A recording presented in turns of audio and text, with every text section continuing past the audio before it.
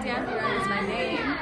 Uh, the show is titled Breaking Together and it's inspired by a number of things that women go through in the society and wherever they come from. Yes.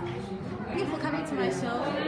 Um, also, I have performances, uh, an, installation in that room uh, whereby I'm talking to the audience about a mannequin and I feel like my body is marginalized because of a mannequin. If there wasn't a mannequin, I'd probably be appreciated in my own society.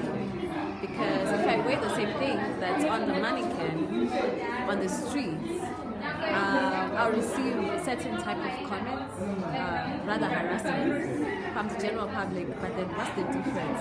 It's the same clothes, just that it's on me rather than on a mannequin. So yeah.